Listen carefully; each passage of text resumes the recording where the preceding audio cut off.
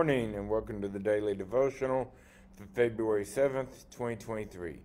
Come to God and rest. God is all about you to bless and restore. Breathe the Lord in with each breath. The way just ahead of you is very steep.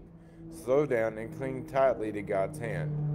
The Lord is teaching you a difficult lesson learned only by hardship.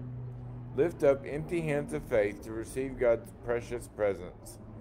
Light, life, joy, and peace flow freely through this gift.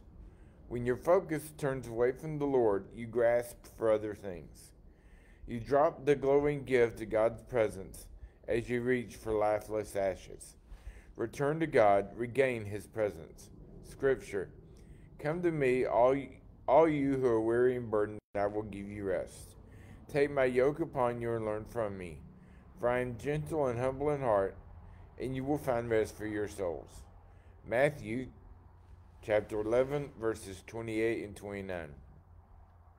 I want men everywhere to lift up holy hands in prayer without anger or disputing. 1 Timothy chapter 2, verse 8. Prayer. Lord, thank you for giving me rest when I focus on you. Fill me with your peace, joy, light, and life. The enemy comes to steal, kill, and destroy. But you have come to give life, abundant life. Help me to live the way you intended, Lord. In Jesus' name, amen.